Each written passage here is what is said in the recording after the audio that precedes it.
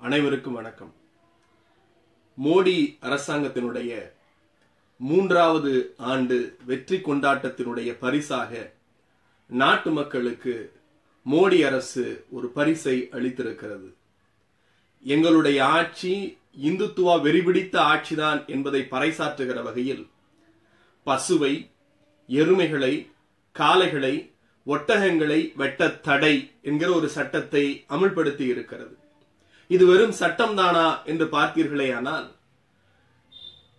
சிறுபான்மையின மக்கள் மீது தொடுக்கப்பட்டிருக்கிற அரச பயங்கரவாதம் தாழ்த்தப்பட்ட ஒடுக்கப்பட்ட மக்கள் மீது தொடுக்கப்பட்டிருக்கிற வருணாசிரம தர்மத்தினுடைய யுத்தம் நான் என்ன சாப்பிட வேண்டும் என்று முடிவு செய்கிற உரிமை எவனுக்கும் கிடையாது.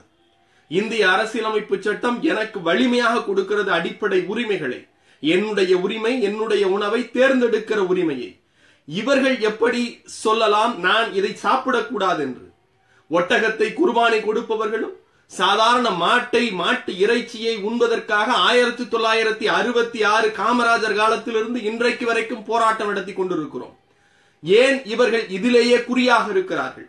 மாமிசம் சாப்பிடுபவர்களை ஒதுக்கி வைக்க வேண்டும் என்றால் வருணாசிரமம் தர்மம் சொல்லுவது போல சைவர்கள் மட்டுமே சைவத்தை கடைபிடிக்கிற சிங்கார மடத்திலே இருக்கிறவர்கள் மட்டும்தான் இந்த நாட்டிலே வாழ முடியுமா? எத்தனை எத்தனை தொழிற்சாலைகள் முடங்கி போகும். உண்ணுகிற உணவை கேள்விக்குறியாக்குகிற ஏழை எளிய மக்கள் தனக்கு வசதிக்கேற்ப கிடைக்கிற இறைச்சியை பெற்றுக் கொள்ளுகிற அளவில் அந்த உணவை உண்பதற்கு தடை விதிக்கிற இந்த அரசு இவர்கள் நடத்துகிற ஆட்சி என்பது ஒட்டுமொத்தமாக இந்தியா என்பது இந்துத்துவா என்கிற ஆட்சியின் கொடையின் கீழ் கொண்டு வர நினைக்கிறார்கள். ஆர் எஸ் எஸும் பார்ப்பன சிதிகார கும்பல்களும் சேர்ந்து இந்த நாட்டை ஒட்டுமொத்தமாக ஒரு இந்துத்துவா தேசமாக மாற்ற முயலுகிறார்கள்.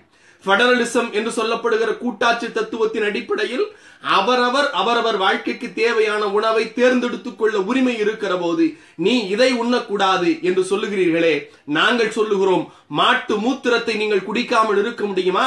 எப்படி மாட்டு மூத்திரத்தை உங்களுக்கு குடிக்க உரிமை இருக்கிறதோ அப்படி மாட்டுக்கறி தின்பதற்கும் எங்களுக்கும் உரிமை இருக்கிறது. நீங்கள் எதேச்ச அதிகார போக்கில் அரச பயங்கரவாதத்தில் சிறுபான்மையின கிறிஸ்தவ இஸ்லாமிய தாழ்த்தப்பட்ட ஒடுக்கப்பட்ட மக்கள் மீது தொடுக்கிற இந்த போர் என்பது அந்த மக்கள் தெருக்களிலே வந்தால் பாஜக மோடி அமித்ஷா உள்ளிட்ட ஆர் எஸ் எஸ் பயங்கரவாத கும்பல்கள் இந்த நாட்டை விட்டே விரட்டி அடிக்கப்படுவார்கள். கவனித்துக் கொள்ளுங்கள் உங்கள் நாட்கள் எண்ணப்படுகிறது.